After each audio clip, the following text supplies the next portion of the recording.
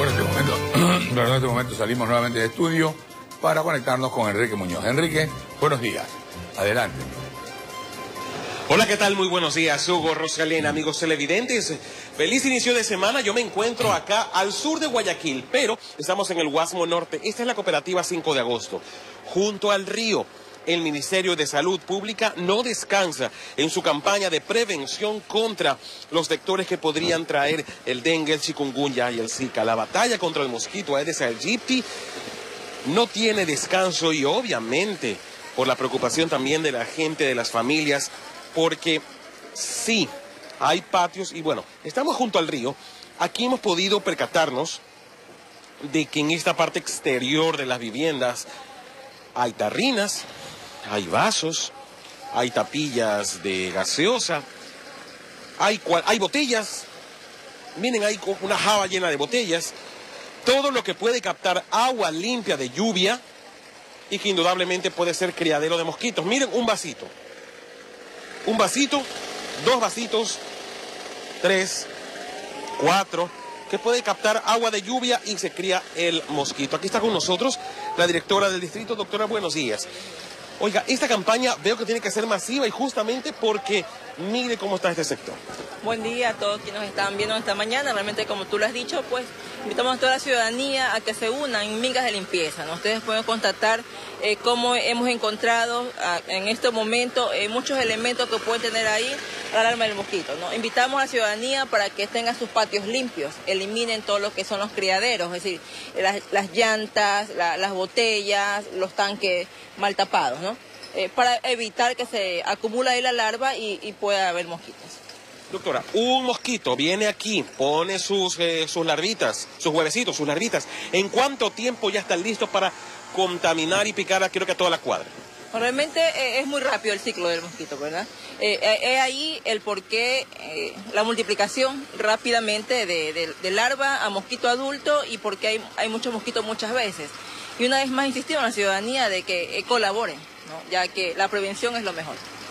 El Ministerio de Salud no debe de hacer lo que está haciendo justamente la niña, limpiarles el patio. Eso le corresponde a cada persona. Creo que nos estamos acostumbrando lastimosamente a que venga el Ministerio de Salud y que nos llame la atención cuando nos toca a nosotros como moradores, como personas responsables, cuidar a nuestras familias. Doctora, ¿cómo ha avanzado el reporte de pronto de dengue, chikungunya y zika en los centros de salud de, su distrito? Bueno, nosotros actualmente tenemos una curva epidemiológica que es eh, muy parecida al año, al año pasado. No hemos tenido realmente pocos casos en lo que va del año pero eso no quiere decir que tenemos que bajar los brazos y, dejar de trabajar. Tenemos que estamos redoblando esfuerzos, como ustedes pueden ver en esta mañana, pero requerimos mucho el trabajo de la ciudadanía, el empoderamiento de la comunidad. Como usted no puede hacer eso la compañera del ministerio. Eso le toca a la ciudadanía. Nuestro trabajo es eh, la batización, la fumigación, las charlas de prevención, la atención a los centros de salud. Eso es nuestro trabajo, ¿no?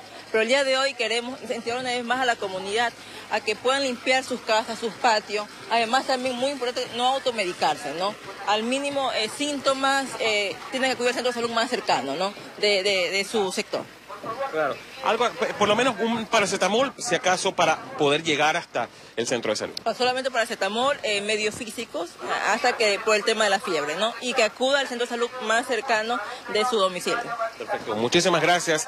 Doctora, ya mismo comenzamos con usted todavía porque la campaña todavía sigue. Ahí está el voceador, que es quien está llamando a las eh, familias para que puedan atender y entender cuál es el mensaje del ministerio de salud, por ejemplo, y aquí viene la capacitadora, la promotora de salud, que es la que eh, da la información acerca del dengue, chikungunya y zika, entrega el material necesario, muestra un material también gráfico de cómo serían las picaduras, las ronchas, el, el rash, digamos, la erupción que trae consigo el dengue. Y como yo les he dicho, siempre tomen eh, este tipo de informaciones. Permítanme un ratito. Miren que es sumamente importante, sumamente gráfico. Esto está repartiendo el Ministerio de Salud Pública. Por favor, léalo de punta a punta y comparta la información con su familia. Esto no es para votar, esto le puede salvar la vida porque el dengue podría ser mortal, como el dengue hemorrágico. El chikungunya, el, los síntomas pueden durar meses los dolores en las articulaciones y el Zika podría traer microcefalia si acaso le pica a una mujer embarazada. Luchemos contra el mosquito Aedes aegypti, depende de nosotros, de mantener limpias las casas, tanto los patios exteriores como estos, como los interiores. Bueno, esta es agua sucia, ahí el, Aedes aegypti no se, eh, no se multiplica, sino otro mosquito que es el que transmite eh, la fiebre amarilla, por ejemplo. El paludismo. Así que eh, tranquilamente nosotros tenemos que lograr, bueno, por ejemplo, esa podría ser, sí, esa podría ser agua limpia que se emposa ahí, de lo que está saliendo de ese tubito.